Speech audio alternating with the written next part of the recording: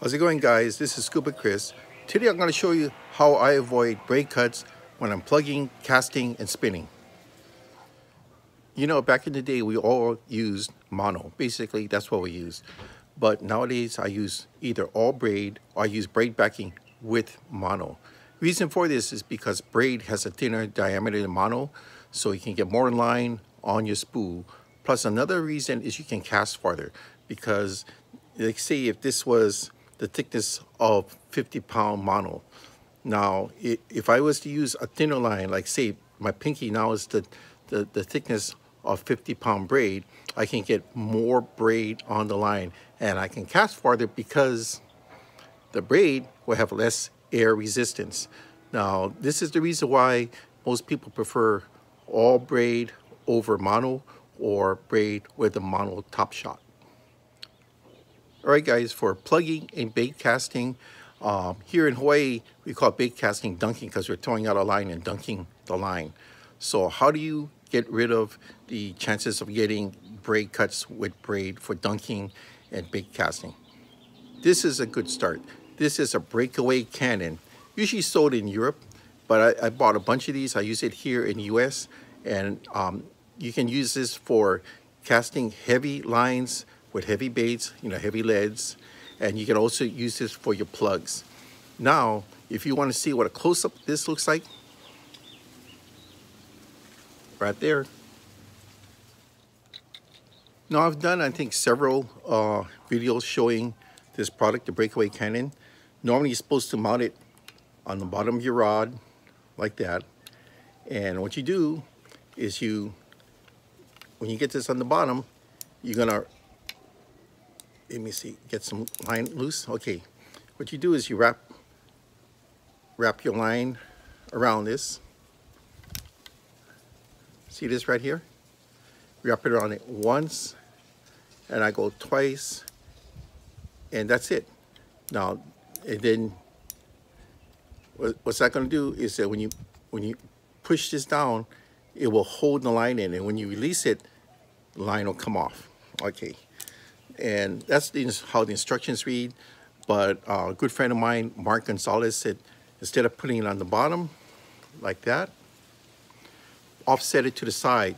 So since I'm right-handed, it's going to go offset to the left-hand side. And it, that creates a fast release.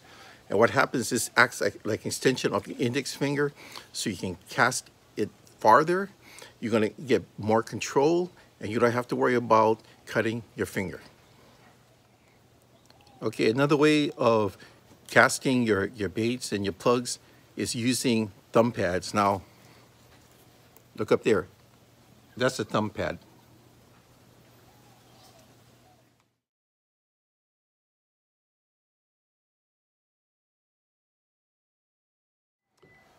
Thumb pads are normally made from leather. Now this is very common for archery users, but um, you can also use this for fishing you would wet, this is usually leather, wet it first, and after you wet it, you, you, this will, when you tap your spool, it'll put on the brakes. Now, back in the day, we used to use bicycle tube. We cut that. We used to use that. But the, the bicycle tube, um, because it's rubber, will grip the line. This will just skim across it so you have better control. This way, you will not get any braid cuts. Okay, finally, casting gloves. Casting gloves is great, especially when you use heavier items like heavy lead, heavy plugs. Anytime you use a heavier object, your, your chances of getting the braid cutting into you is a lot higher. Also, if you're using thinner braid, thinner braid, your chances again are a lot higher because it will cut into you very easy.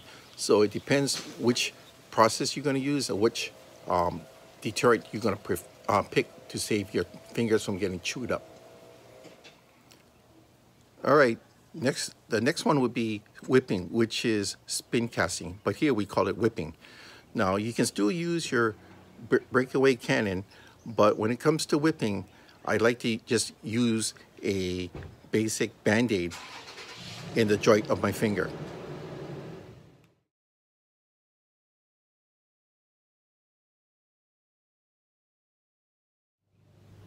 Or you can use what is known as a finger glove Now, I have a couple of Gamakatsu finger gloves. Again, look at that.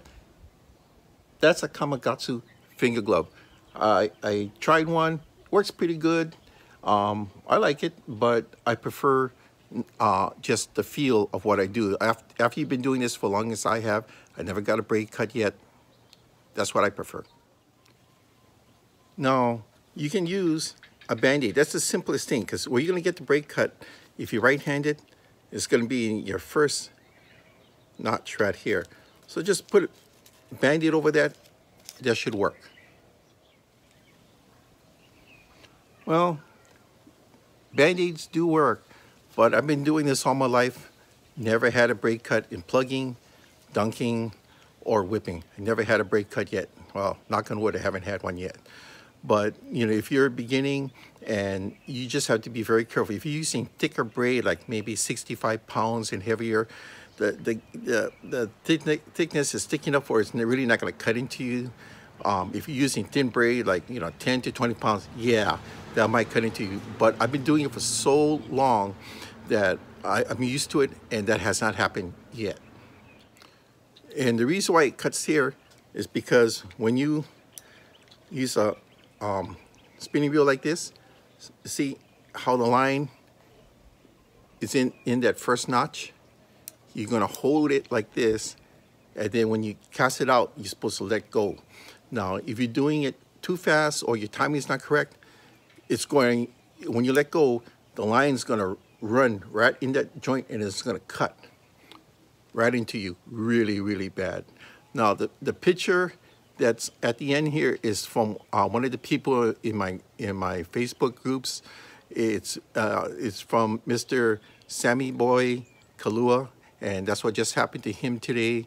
And um, to answer his questions, I made this video, um, and he was nice enough to send me the picture of what happened to him.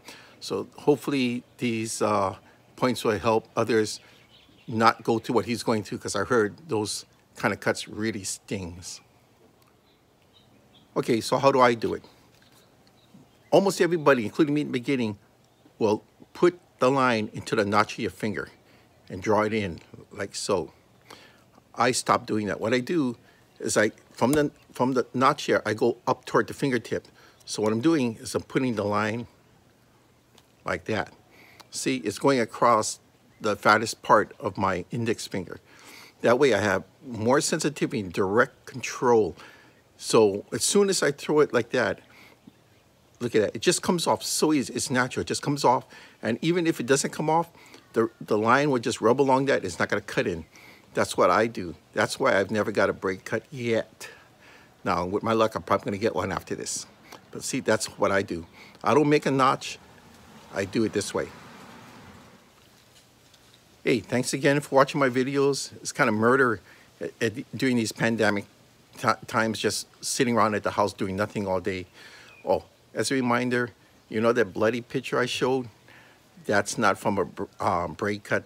That's actually me tying my fishing line to the hook and the wind blowing down my rod, yanking, yanking down the line, and it's a really sharp mustad hook went up through my finger and the, and the back end to my nail there was a hospital about a mile and a half away. I could have walked there. I don't like hospitals. I don't like needles. So what did I do? I just got my pliers, I just bit down something and I pushed it all the way through. The pain was so great, I almost blacked out, but I was able to push it through, cut off the tip and take it back out and continue fishing again. Yeah, I'm not the sharpest pencil in the box, but that's how the bloody picture occurred. But anyway, I just wanted to explain that because it wasn't from a break cut. All right? Thank you.